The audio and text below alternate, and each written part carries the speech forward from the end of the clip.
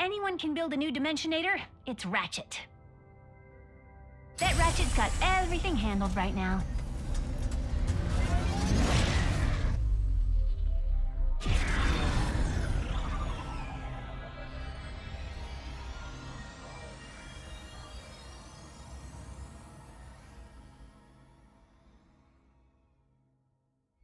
This is an ocean.